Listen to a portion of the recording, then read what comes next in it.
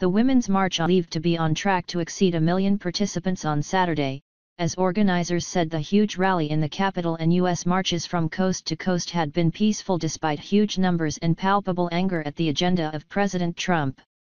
Evvie Harmon, global coordinator of the marches, said initial and unofficial estimates put the crowd in Washington at more than 1 million people and the attendance at events worldwide in excess of 3 million. I'm hoping it will be a record in Washington, she told The Guardian. Especially with the turnout at the inauguration on Friday being, well, not so high. Harmon based her calculation on reports from March stewards and volunteers who were out on the streets of the capital and had experienced the first inauguration of Barack Obama as president in 2009, when as many as 1.8 million people were estimated to have come to Washington. If the crowd for the Women's March did exceed a million, it would almost certainly be the largest protest recorded in U.S. history, topping the enormous demonstrations of the civil rights era and against the Vietnam War, which frequently attracted a quarter to half a million people. Perhaps surprisingly, given the sheer numbers packed into the streets in many cities and the rage and defiance bubbling beneath the sea of pink hats, there was no reported trouble. I have not heard of any arrests, said Harmon. The Washington Monument shrouded in clouds as people packed the National Mall for the Women's March.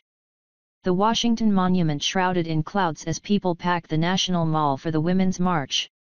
Photograph, Jonathan Ernst slash Reuters. This contrasted with Trump's inauguration day on Friday, when protesters in black masks smashed windows, set fires, and threw rocks at police wearing riot gear.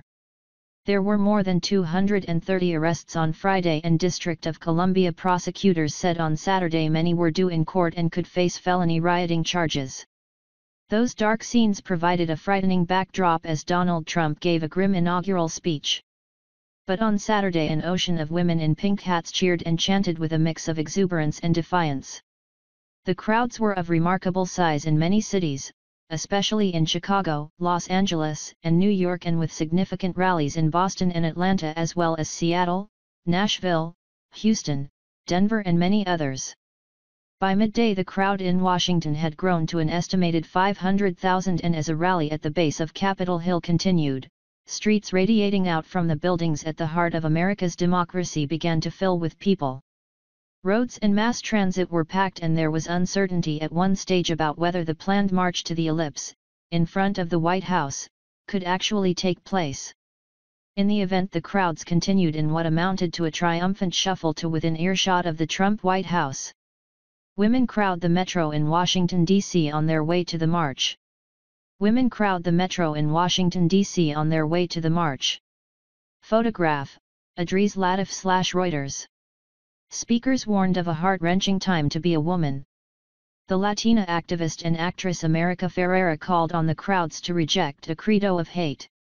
Less than 24 hours before, near the same spot, Trump had delivered a brutal, sinister speech meant to whip up ordinary people against Washington the president railed against a dystopian scene of American carnage, in which crime, poverty, post-industrial decline, drug addiction, and economic inequality scarred the landscape.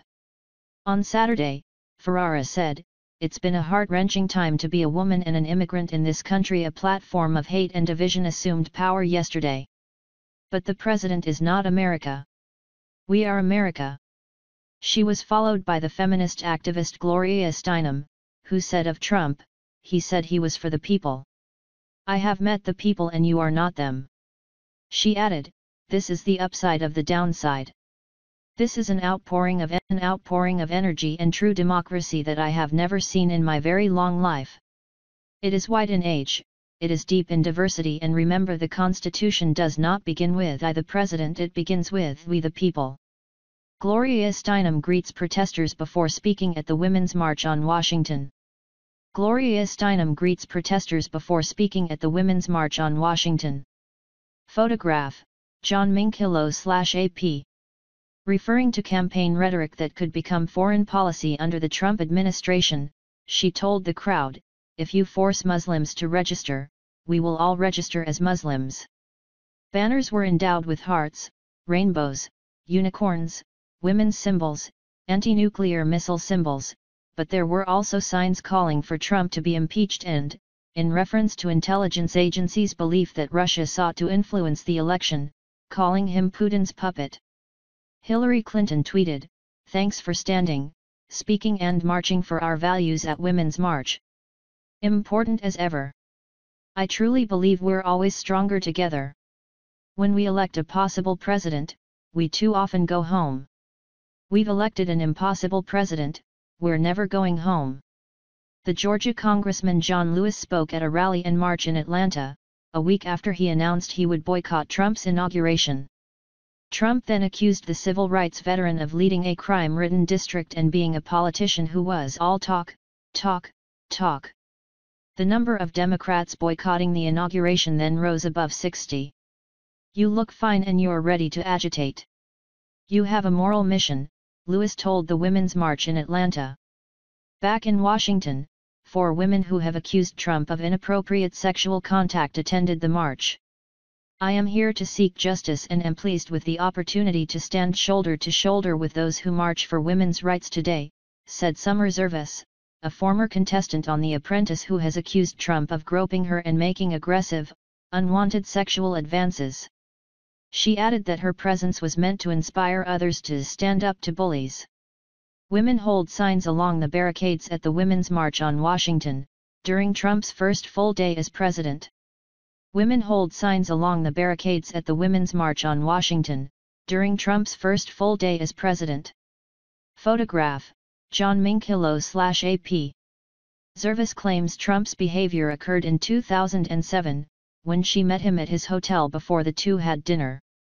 Temple Taggart McDowell, who was Miss Utah 1997 in Trump's Miss USA pageant and accuses Trump of unwanted kissing and touching, also attended, as did Jessica Drake, an adult film star who claims Trump kissed and grabbed her without permission and propositioned her for $10,000 at a charity golf tournament. Trump has repeatedly denied their accusations. On Tuesday, Zervos sued Trump for defamation, in response to his denial that their private meeting took place. Hospital Dr. Chioma Ndubuisi, meanwhile, had traveled from New York with colleagues who work in family planning. She held a sign saying Pussy Power and said in the months since the election women had been approaching her, worried about their birth control coverage. I saw a sign that said, too many issues for one sign. That's exactly how I feel. This is a moment to inspire others to act, she said.